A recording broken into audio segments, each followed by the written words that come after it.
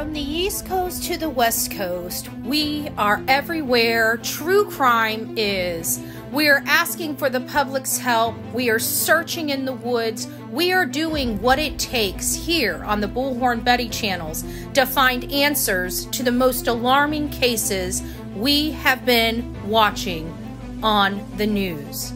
I can tell you personally that I have traveled this entire country seeking these answers and bringing that content right here to you here on the Bullhorn Betty channels and Bullhorn Betty crime stories. We are happy with the work that we've done. We brought many answers to the public and we have defied mainstream media in our pursuit of the truth in these cases. We will continue to work we will continue to fight for these victims and we will continue to tell their stories here on my channels. Welcome to the Bullhorn Betty brand of channels and the Coffee Club. Thank you for your love, thank you for your support, and more importantly, thank you for allowing me to bring these victims' stories to each and every one of you advocating for each of these victims. God bless you, God bless America, and more importantly, God bless our victims.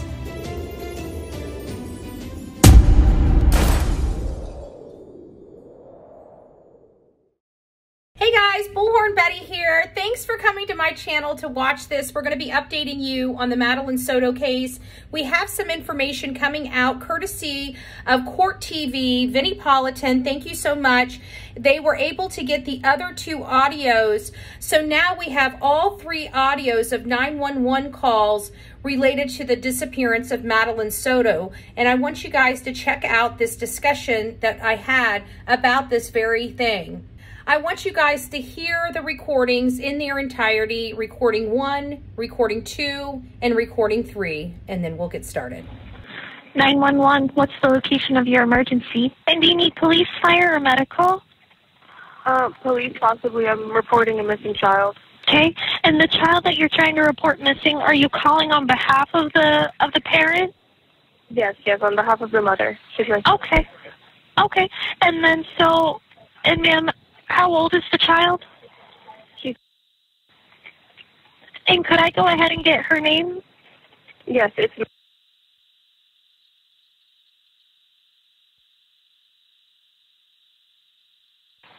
And is she white, black, or Hispanic? she's white. Okay. Blonde, And dirty blonde hair, blue eyes. okay, hold on with me here.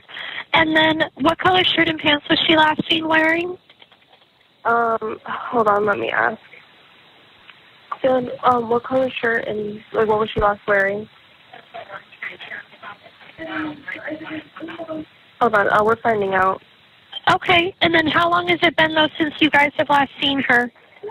Since this morning, she was dropped off um, at school this morning, and apparently she never showed up. We called um, everyone we knew. No one's seen her. Okay. And then, so, ma'am, I just want to confirm though, was she last seen from this address? Is this Oh. where you guys last saw her? No, no, no, no. Um, she was last seen at the church next to Hunters Creek Middle School. I think it's called Peace Church. I'm not sure of the exact address.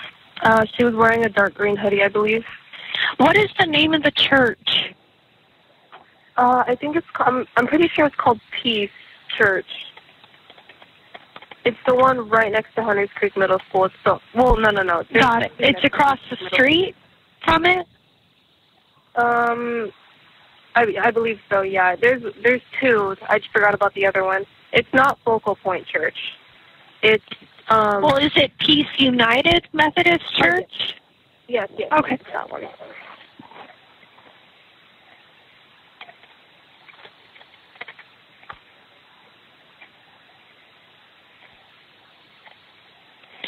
Okay. Is she diagnosed with any medical mental conditions at all? Um, I know she takes medication for ADHD. Hi, um, I called not that long ago reporting a missing child. I just wanted to know how long the cops are going to take to get here. Okay, hold on. Let me open up the call and let's see. The call is still currently pending to have the deputies respond out there, but we don't have any available deputies.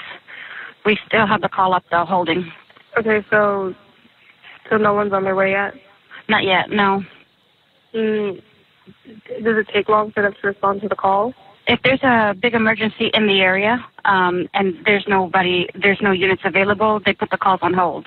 But as soon as one becomes available, they respond to the next pressing call. Okay, yeah, uh, we just need one here urgently. So I understand. Um, we still have the call. We still have the call holding. Y- yes. Yep, we still have the call holding for them. I'll go ahead and update them with the information. All right, thank you. Because this happened very recently, so we just want to get everyone here. She's been missing since 8 a.m., so we want to get everything done as, as soon as possible to try to find her. I, I understand. Vinny, please fire medical. No, it's not a medical issue. We we have a missing child since this morning. We already called three times, and the police didn't show up yet. Yes, ma'am. I, I see right here for you. Uh, for yes, ma'am. I see it. This is waiting for a deputy to respond. They haven't they haven't come here yet. I, I'm aware, ma'am. I see it. I, it's waiting for a deputy to respond. You're waiting for a deputy to respond. Yes, ma'am. And how long more do we need to wait? It's it's a child missing. I understand that, ma'am, but I'm just not able to give out ETA. I, I'm, I don't know when they'll be there. So how long do we need to wait? This is an emergency. Ma'am, we, we have the information, but it just it, they're, they're trying to get there someone as soon as possible. So this is not important for you guys, really? Ma'am, we're very busy in the area. Look, I understand uh, they'll be there as soon as they can. Okay. We've covered the case of Madeline Soto. She disappeared on the same exact day that Sebastian Rogers disappeared, um, except she disappeared from Kissimmee, Florida, which is about two and a half hours away from where I sit right now, right? It was a very hard case for me to listen to. This man right here is Stephan Sterns, and he is behind bars. He was he went behind bars on February 28th, two days after she disappeared for stuff that they found in his phone. Nobody has been arrested for this young girl's disappearance or untimely demise at the hands, we believe, of him. Well, a lot of people had a lot of questions related to whether or not Jen Soto was involved. Jennifer Soto is Madeline's mother because this stuff, the abuse, went all the way back until this young girl was eight years old. Eight years old. So, how, you know, a lot of people can't quite figure out how in the world her her mother did not know a thing. Um, nobody's been charged. We don't know when there's going to be a charge, but we are starting to get some information related to the 911 calls. And I'm watching this this video from Court TV with Vinnie Politan. Somebody else had released the third video. So I, a friend had sent it to me, and I heard the third video of the grandmother calling in, and it was I, I was like, well, where's the other two two recordings? She says that this is her third time calling. Where's the other two? Because everybody was asking why wasn't Jen or why wasn't Stephan? weren't weren't they the ones that called nine one one? They didn't call, and so my question was, well, this is number three. How do we know they didn't call? We don't have you know recording one or two. Well, guess what? One and two recordings of them calling law enforcement has been received, and Court TV has it. I'm going to play it for you guys in just a second so we can have a discussion about it. But I've got to tell you, none of them are talking about the freaking elephant in the room. They're talking about how these people are saying and and how these how the people are like. This is a, the aunt and the grandmother. They don't. They're not. They weren't even in the house that morning, and they're analyzing them. I, like I am like coming through the phone like screaming at whatever law enforcement agency this is because who the hell needs to call three times when you have a missing freaking kid? Like, like they're talking about the grandmother and the aunt, and I'm sitting here like, like fire and smoke coming out of my ears and my mouth over the law enforcement. Like I'm just like floored that we have a law enforcement body here that when you call 911 for a missing child, you better hurry up and wait. Are you freaking kidding me? You do not have enough law enforcement agencies or agents to go out and field these calls? That to me is screaming major problems. So I don't know what's going on out there in Osceola County or Orange County here in the state of Florida, but get your shit together. I never want to hear no stuff like that again. Not in my community. That is, I am so angry about that. You're going to be angry too. Y'all are going to be angry too. Let's listen. All right, let's listen now. Also, 911 calls. Let's take a listen to the first one, and then I want to get your analysis based on. And this is coming from Court and TV, learn guys. From this call. Let's listen. 911, what's the location of your emergency? And do you need police, fire, or medical? Uh, police possibly. I'm reporting a missing child. Okay. And the child that you're trying to report missing, are you calling on behalf of the of the parent? Yes, yes, on behalf of the mother. She's right. Okay. Okay. And then so, and ma'am, how old is the child? She, And could I go ahead and get her name? yes, it's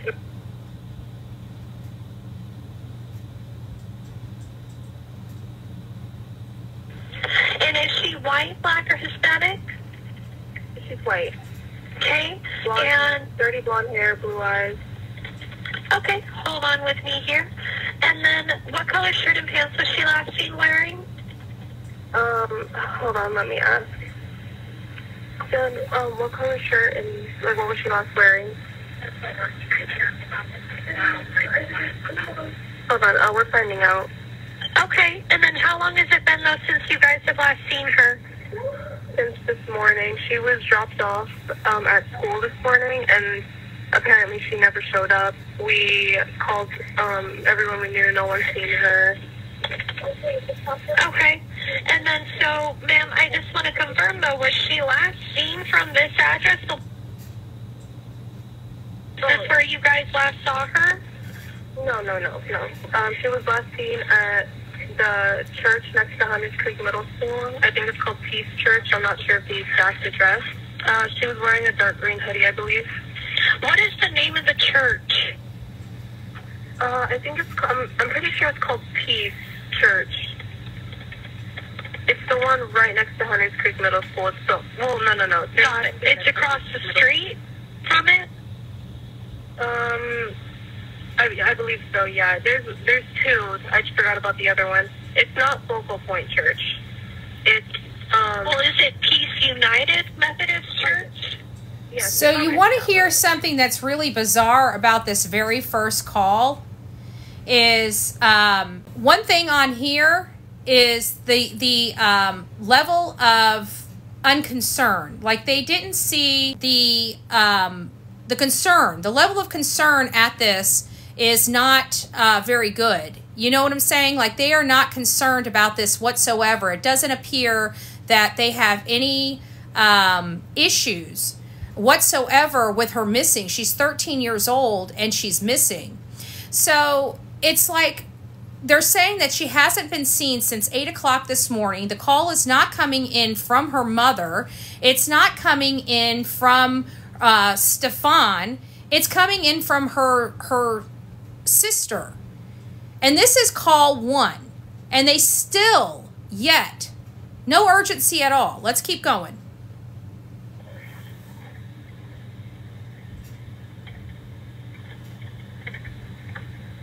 Medical, mental conditions at all? Um, I know she takes medication for ADHD. Didn't know this was a. Ch- I I should have known we got children Shannon, here. I'll start with you. What are Listen you to this. hearing in this call? What what um, strikes your interest? What do you what do you think is significant here? Well, the first thing that struck me was just how calm the caller was. You know, you hate to judge people react in these situations, but there's a missing. ch- Um, because of Florida law, we don't know who made the 911 call, but I've been told it is a family member, possibly uh, Jen Soto's sister. Um, I was surprised just how calm um, the caller was uh, about a missing child. That was first. Second, you can hear the same story, right? Stephen Stern's same story that he dropped her off at that church. That was last time uh, she had been seen.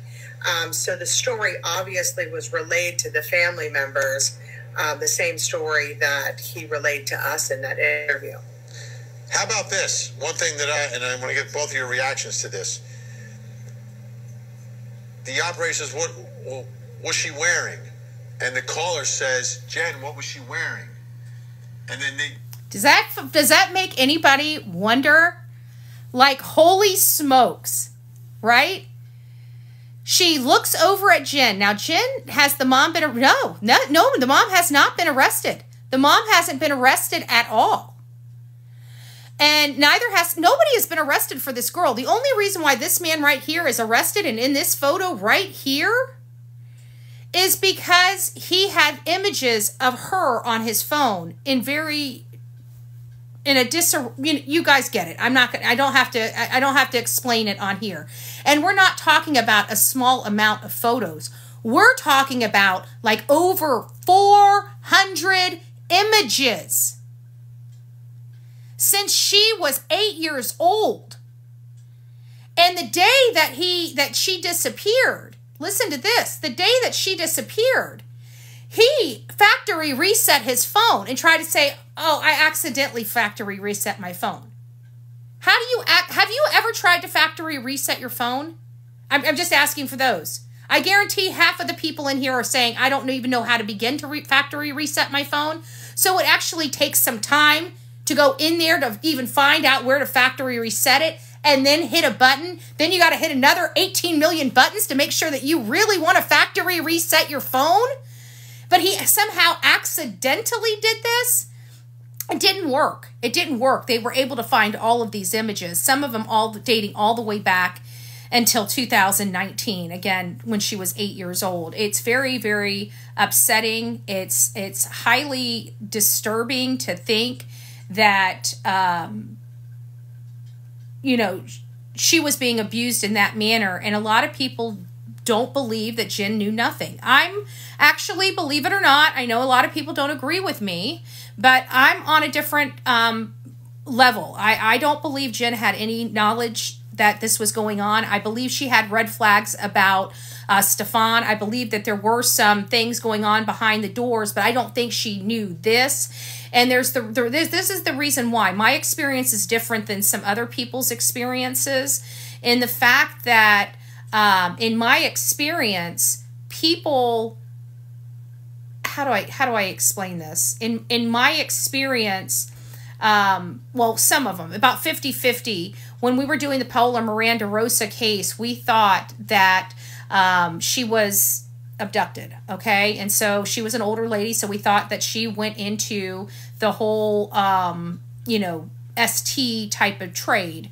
Um, she was forced into. That's what we believe. So we brought in uh, a lady that uh, wrote a book and everything like that to understand the whole SA you know aspect of it and how you know this works and what happens. And she was explaining it to me. And she was one that was you know uh, groomed by a younger from a younger age and stuff like that and she was terrified to tell her story. I never thought people would be so uh, terrified of their, you know, not to say anything to any anybody. But there were even people in my on my YouTube that called into my show and basically said that. Um, uh, what do they say on the on the show? They basically said um, they they went years, years upon years without telling their family what what kind of abuses that they were undergoing. And and when she finally did tell her mom, she said her mom never knew. Uh, all those years, you know, she thought her mom knew. You know, you don't know what that predator is saying to that child to keep them quiet. You, we don't know. Um, did she know? I, I really truly don't know. I pray to God she didn't because, you know, I don't want to think of a, a parent and one of the other reasons why I didn't think she knew is because everything that I've seen in her past before Stephan, she seemed like a loving, caring mother, you know, even with Stephan, the, the photos, the, the trips to Disney and stuff like that. She seemed like she really enjoyed her family. Um, and it seemed like she was in this delusion of this family. You know what I'm saying? So I really do believe that this whole family um, was her delusion. And then, of course, she had a little bit of mental illness herself. She was taking medication. And not only was she taking medication, um, you know, this medication was making her sleep an awful lot. We also learned by that, um, whatever doohickey it is, um, that uh, affidavit, that it appeared that these that the photos and images that he was taking and putting on his phone were in a very specific time frame. It was really interesting because we're like, why why June? You know, it seemed like everything was happening in June and August. And somebody then brought it up to my attention. Those are summer months. So I honestly believe that Jen was actually relying on Stephan to take care of her daughter while she was working during the summer months. And I think that gave him full and utter access and control over her. And I don't know what he he obviously said something. It's this girl lost her life because of something and I really truly believe it's because she told him she's had enough and she was going to tell. He was out the door. It sounded like Jen was over. They were split up. And even her grandmother said, you know, he doesn't live in the house and one, wanted to know why. Uh, what did he say? He doesn't live in the house, but wanted to know, you, you know, he just happened to come over that weekend. And I think everybody thought he just came over that weekend because it was her birthday. And he had been in her life since she was, you know, seven, eight years old. So nobody was probably thinking, but from what it sounds like, it sounds like he didn't live there. And even with the affidavit coming from law enforcement and everything else like that, think about it. He was um he was every time we heard anything, he was coming in. He was never really going out. Did you notice that? So it seemed like he wasn't staying there, that he actually got there that morning according to the affidavit. But it's confusing because we're not getting any information. Anytime anybody is asking anybody any information about this case, law enforcement shutting them down.